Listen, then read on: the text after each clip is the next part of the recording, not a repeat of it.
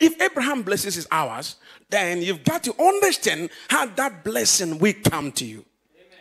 How does it come to us? And if you are Christ, I'm trying to show us the importance of faith before I get into the topic. topic. And if you are Christ, then you are what? Abraham said, meaning if you are in Christ. Hello, somebody. And is according to the promise. In other words, the same blessing Abraham have. Oh, you will have the same blessing. Now, I want to show you, it's important to understand this thing. I've read Galatians over and over again. And actually, this week I saw more. Please go to verse 6 now. I want to read, run from verse 6. I'm going to read verse 6 to 7, then read 9, 11, and 14. Verse 6 says, uh, of the same scripture, it says, just as Abraham did what? Believe God, and it was credited to him for righteousness. He believed God, and it was what? Credited. Verse 6. Stay, stay, when I'm there, stay. If Abraham just believe, meaning he just, oh God, I believe you're God. And God said, because you believe that I'm God, now I will declare you righteous. He didn't kill God. He didn't kill ram. Hello, somebody. He didn't give God clothes. All he did was to believe. Watch this. So understand that those who have faith are Abraham's what? son. Because Abraham is the father of faith. Anything I started, I started first, I become the father. Hello, somebody. Now, Abraham being the father of faith, who first believed in the true living God. Remember, Abraham came from idol worshiping family. And God went to his family and said, Abraham, he used to be called Abram. So I'm going to make you, I'm going to turn you into a multi billionaire. I'm going to make something out of your life. He said, But all I need from you is not your bull, your idol, or God. I just need you to believe that I am God and I exist in the heavens of heaven. He said, If you can believe me, just foolishly believe me, I'm going to turn you into a wonder. And in this church this morning, God will raise men and women that will be turned into wonders. Men and women will begin to ask, Who is this lady? I thought I know her. Hello, somebody. There are people who do not know the potent you carry. They don't know you have potential. They are looking at you sometimes like you're just ordinary person. Am I talking to somebody? They consider you as nobody, but they do not know you have something. He said, if, if you believe in Abraham, if you believe in him, I'm going to pour the same blessing, the same oil, the same anointing, the same grace, the same thing I did for Abraham. Said, I will do it for you. Said to yourself, I believe the word of God. The word of God is as real as you can touch your hair. Don't take it lightly. Your life begins from the realm of the spirit. Hello, somebody. I've seen scriptures all over the Bible that shows me that I used to hang with God even before I was born. Before my mama conceived me, I was already known by God. In other words, my life is more spiritual than natural. And the word of God is spiritual. Faith is spiritual. If you don't have faith, you are walking in the natural. You are a very carnal person. Hello, somebody. And you cannot please God if you don't walk in the realm of faith.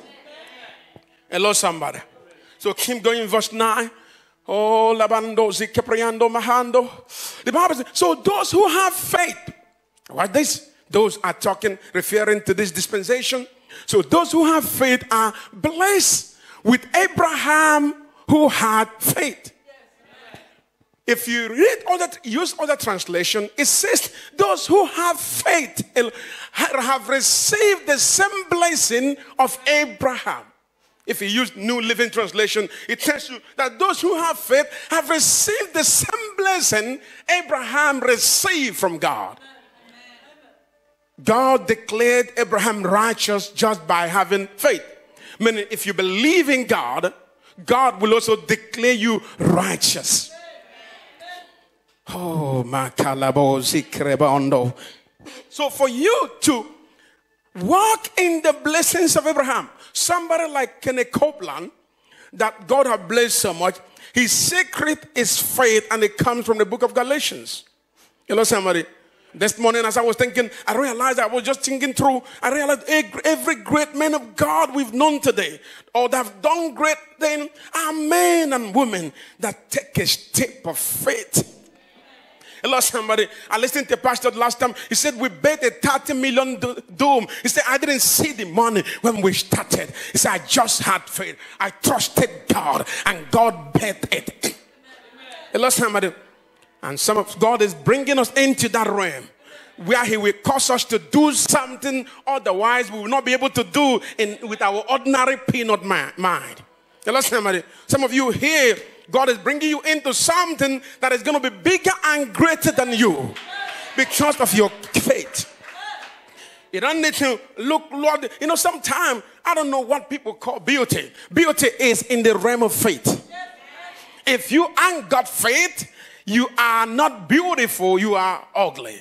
The only ugly person on earth are men and women that do not walk uh, in faith. If you are a natural man or woman, you are ugly. That's the only thing that makes you ugly. But as long as you believe in Jesus, the Son of God, you believe that with God all things is possible. It doesn't matter what you're facing. That lion is before you, but you refuse to see it.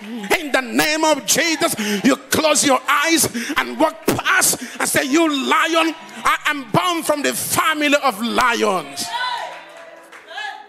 Lions do not, I'm not afraid of lion.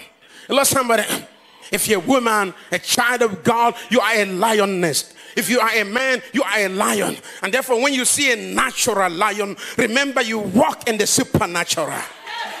Therefore, if they stand before you, you say, In the name of Jesus, I'm going to make it. My father did not make it, my mama did not make it, but I will be the person in my family that will be called out of darkness into his marvelous light. Abraham's father was idol worshiping father. Let somebody, it's been said by historians believe that Abraham was the market man of the crafted idols. The father crafted the idol and Abraham set the price. But God walked into their family and was searching for somebody that will represent him and make a name for him. He said, Abraham, even though you were an idol marketer, but I'm to call you out of your family and make something out of you. There are people people here this morning, God is about to make something out of your life, something out of your family, something out of your soul.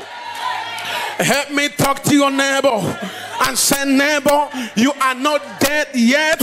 God is about to make something out of your life. I don't know where you are with God. You may be worshiping idol, but God is saying, You are my choice. I want to make something out of you. Have you seen people? They, they, they have a rough life somehow, but they still believe God. They, they, they still take some alcohol. Hello, somebody. And when you're not looking, they can take some cigarette, but they believe God. And when you see God doing stuff for them, you may be wondering, Father, I thought I go to church all the time. Why are you blessing Martina? It should have been me. If you watch Martina, maybe Martina have excellent faith.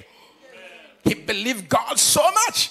Though Martina is still struggling with her life, but she know there is God that made heaven and earth. And so what God does, God, we go and call Martina out because God knows this Martina that have a radical faith. If I can call him and put something in her, I mean, she's going to change the world. How could God call Paul? Let somebody, God should have gone to look for a better person in the society, not a man that was killing his disciples, but he saw radical faith in Paul. He said, This guy that so believe in Judaism, if I call him, he's going to use his spiritual knife so to cut the head of the devil in Israel. Can learn somebody? And that's why some mad, crazy people are being called by God. Because God knows how to channel the negative into positive. Oh, help me, somebody.